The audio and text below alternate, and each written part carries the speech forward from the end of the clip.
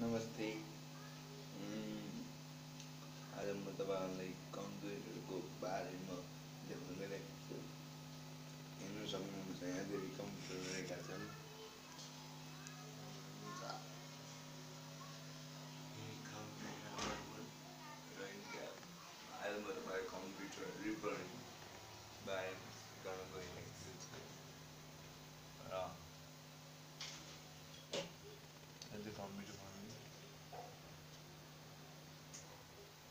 यदि तपाईँलाई कुनै कम्प्युटरको बारेमा केही सोध्नु छ भने हामीलाई तल कमेन्ट बक्समा केही लेख्न सक्नुहुन्छ आफ्नो कम्प्युटरको बारेमा।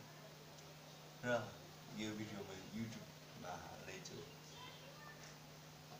आशा छ तपाईँहरूलाई यो भिडियो मनपर्छ भनेर।